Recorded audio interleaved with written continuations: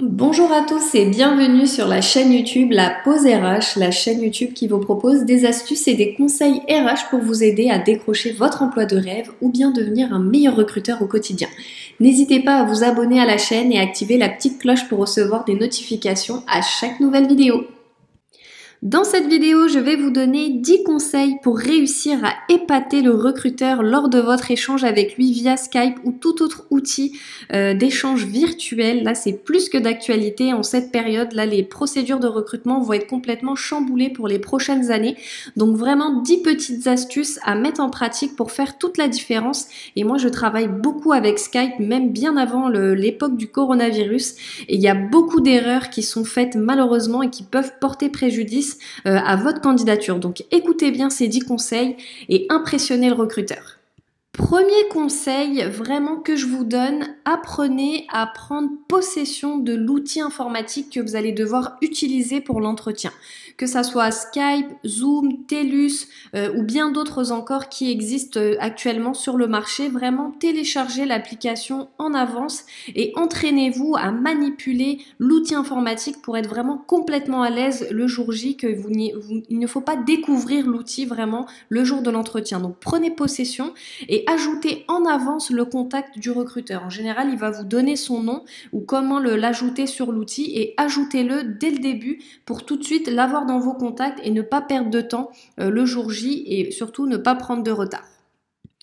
Deuxième conseil essentiel, vraiment vérifier la qualité du son de votre micro euh, sur votre ordinateur. Donc si vous avez un ordinateur plutôt récent, vous ne devriez pas avoir de soucis. Euh, vous devriez avoir un micro de bonne qualité. Mais si vous avez un ordinateur qui est plutôt vieux, plutôt ancien, je vous conseille vraiment impérativement euh, d'acheter un micro supplémentaire et de le brancher à votre ordinateur et de parler dedans directement.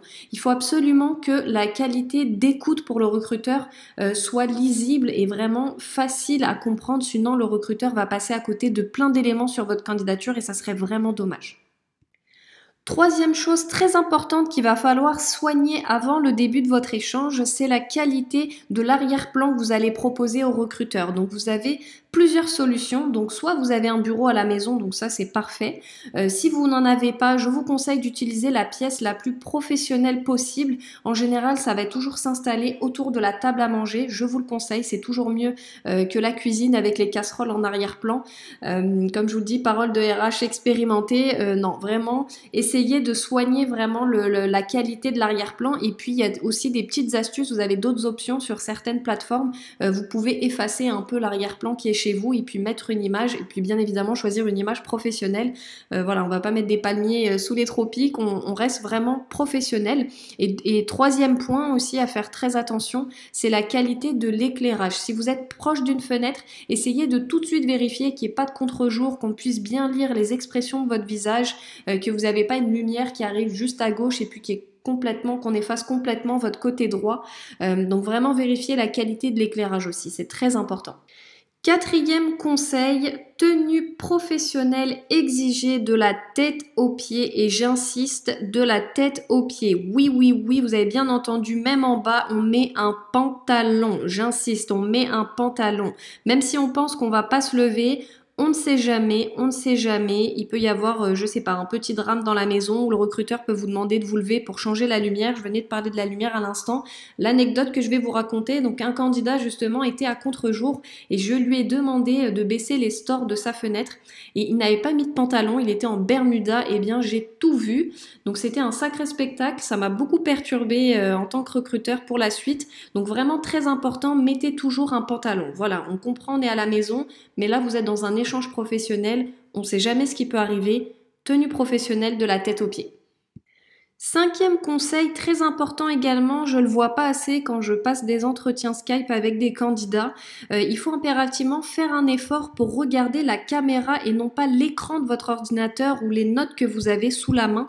Euh, c'est vraiment très désagréable. On a c'est virtuel, mais on essaye quand même d'aller chercher un contact plutôt humain et chaleureux, et ça passe par le regard. Donc c'est vraiment très important de regarder la caméra pour que lui, le recruteur, lorsqu'il va regarder euh, votre image sur son ordinateur, son écran à lui, et eh ben, il va regarder vos yeux euh, qu'il regarde un petit peu, vos yeux qui, sont en train de le regarder.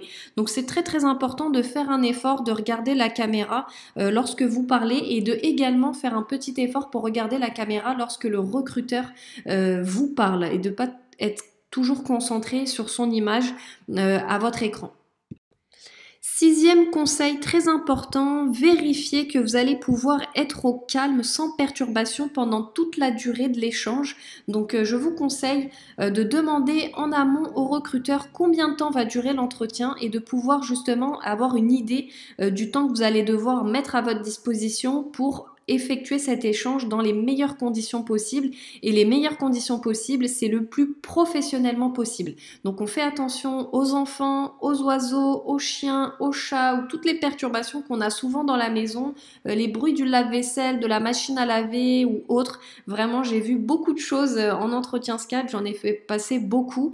Euh, et c'est vraiment très dommage de passer à côté d'un beau profil, d'une belle candidature, juste parce qu'on n'a pas été capable d'être bien concentré sur les compétences du candidat. Donc être au calme, euh, sans perturbation pendant toute la durée de l'entretien, vérifiez ça en amont et surtout prévenez votre famille si vous partagez la maison avec des enfants, euh, votre femme ou autre, des frères et sœurs, vraiment prévenez votre famille qu'il ne faut pas qu'on vous dérange. Septième conseil, faites attention à votre articulation et à la qualité de votre diction. Je vous invite à faire un effort supplémentaire euh, pour vraiment essayer de mieux articuler, mieux prononcer chaque mot, car en parlant à travers un micro sur l'écran d'ordinateur, euh, vraiment on entend beaucoup moins bien qu'en face à face. Et de plus, même si on peut avoir accès euh, à votre visage sur la caméra, c'est pas la même chose. On va pas voir vos micro-expressions, on va pas être capable de lire dans vos yeux. Donc c'est très important pour bien vous faire comprendre, d'articuler, de faire attention à la diction. Et petite chose en plus, souriez, vraiment souriez dès que vous prenez la parole. Euh, déjà de 1, ça va se voir avec la caméra et surtout ça va s'entendre et ça va vraiment montrer que vous êtes enthousiaste pour le poste. Donc articulez et souriez. Huitième conseil, vraiment faites attention à votre posture face caméra. Donc euh, vraiment sachez que vous êtes filmé. Euh, donc on voit absolument le moindre de vos gestes, euh, le, moindre affalement sur la chaise, c'est vraiment à proscrire.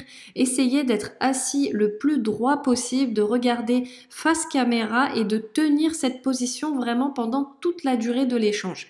Hein, on ne s'affaisse pas, euh, on ne s'enfonce pas dans sa chaise, on ne s'étire pas comme si on était seul. Donc vraiment bien comprendre que vous êtes regardé et vous tenir exactement de la même façon que si vous étiez en personne face au recruteur. Attention à ça, je le vois beaucoup aussi euh, lors des entretiens Skype et bien évidemment ça va jouer contre vous. Faites attention, ça donne une mauvaise image de votre personne.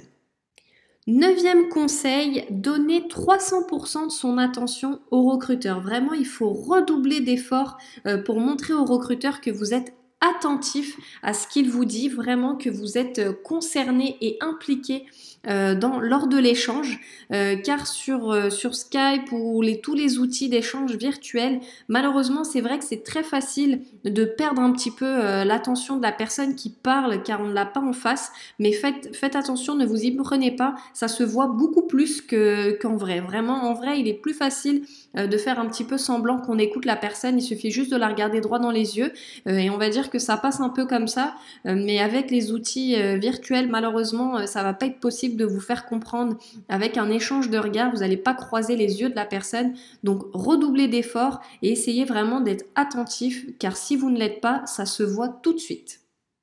Et enfin, dixième règle d'or à suivre pour parfaire euh, la bonne impression que vous allez laisser au recruteur. Connectez-vous 5 minutes avant euh, le début de l'appel pour éviter tout retard. Car sachez que les retards, même en virtuel, ça va laisser une mauvaise image de vous dans la tête du recruteur. Donc faites attention.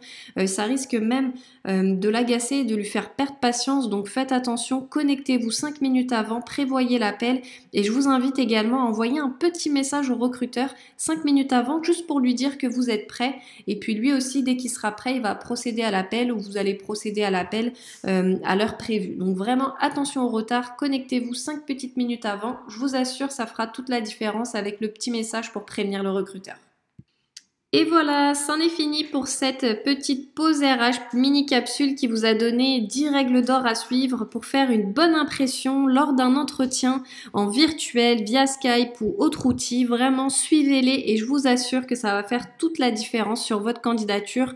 Comme je vous le disais, j'ai passé beaucoup d'entretiens Skype et très peu de candidats respectent ces 10, ces 10 conseils de base que je viens de vous donner. Donc vraiment, faites-les, ça va faire la différence.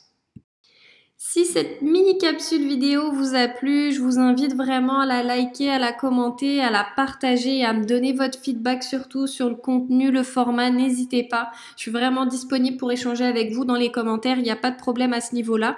Et surtout, surtout, abonnez-vous à la chaîne. Vraiment, je vous réserve plein de belles surprises pour la suite. Je vous attends nombreux sur la pause RH. À bientôt.